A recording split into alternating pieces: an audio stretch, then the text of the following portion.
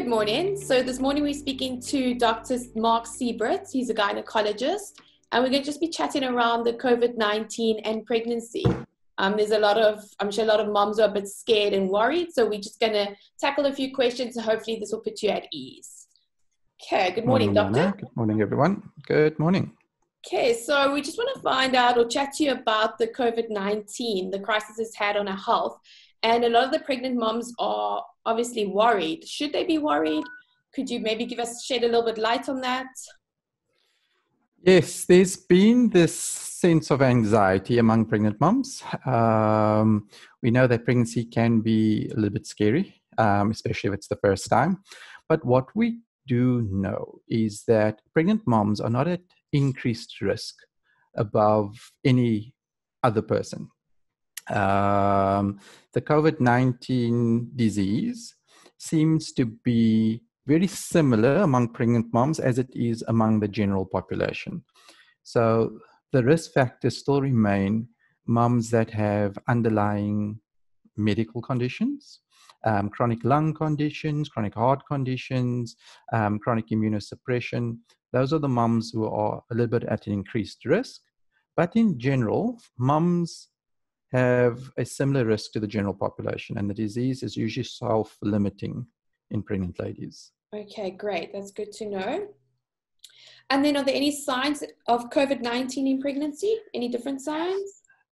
So, the signs are similar to a general flu like illness um, moms start feeling a bit ill, sore throat. Mm-hmm. Um, they lose the loss of smell. They may get a bit fever, a bit a bit of muscle pain, similar to a any other viral chest infection. Okay. So moms that are having mild infections should contact the hotline um, and then present for testing. Moms that are very sick need to then see a specialist for for treatment. Okay, great. Are there any precautions that a mother can take um, to ensure that baby and herself are safe and healthy? Okay. So, as a, a, gynecologist, we usually look at a pregnancy in different stages because different stages have different impact for mom and for baby. So, we divide the stages into we call them trimesters. So, the first trimester, it's a very important part for baby's development. So the first trimester is that stage from conception to mm-hmm. about 12, 13 weeks of pregnancy.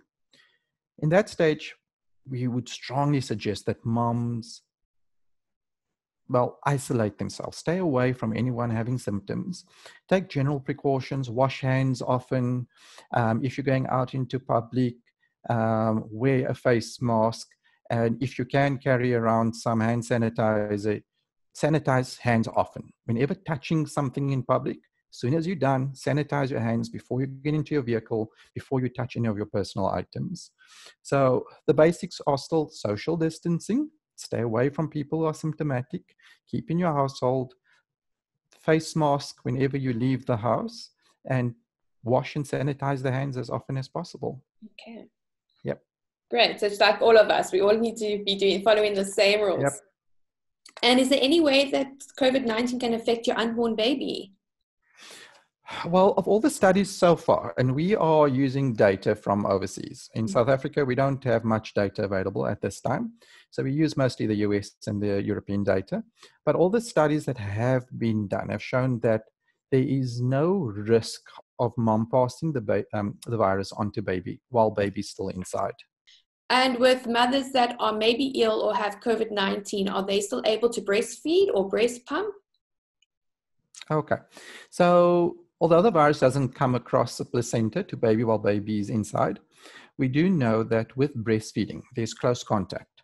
So, the delivery process itself is low risk. Okay. Mom won't pass any virus onto baby during the delivery process. Mm. But after delivery, with the close contact and breastfeeding, um, obviously mom will be breathing into the same space that baby's breathing. And we know this is a respiratory virus that is droplet spread.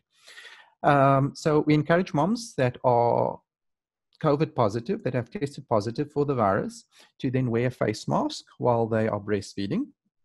It is still quite safe to wear a face mask. The breast milk does not um, carry across the virus to the baby. Okay, so the breast milk is actually good. We know that breast milk has a lot of good immunoglobulins and proteins that help boost baby's immune system. So we encourage breast milk as far as possible. But mom should still sanitize beforehand, wear a face mask while she's breastfeeding or having any other close contact with the baby. Um, with the issue of breast pumps, because the virus does not come across in the breast milk itself, when mom is using the breast pump, once again, wear a face mask, clean the, the breast pump thoroughly after use. Um, so as long as we sanitize properly, using a breast pump is just as safe as breastfeeding. Okay, great.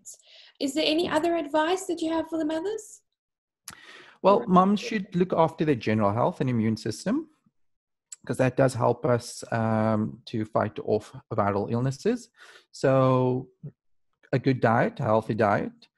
If you can um, manage a bit of exercise, I know we're all in lockdown mm. at home, but if you can exercise about 30 minutes a day, that does help get the nutrients and the blood flowing so that the nutrients is actually delivered to baby where baby needs it. Mm-hmm. And then to boost the immune system, there are two important vitamins. So vitamin C, if mom can get about a thousand milligrams of vitamin C in per day and about eight to 10 milligrams of zinc in per day, we know that these two vitamins do help boost the natural immune system. And there are a few products on the market that do do combinations, but you could get them on their own and just take it as a daily supplement. It will boost your natural immune system. Okay, great. So that's all we have for today. I hope this has helped all the pregnant mommies out there that may be worried or, you know, thinking about all of this and baby, but it seems like they'll be safe. Just take the precautions that we all have to take and look after yourself and sanitize, wash those hands, and you'll be fine. Yep. That's the take home message. As long as we all stick to the rules, moms and babies will be fine. So I hope that does alleviate some of the fears the moms are having.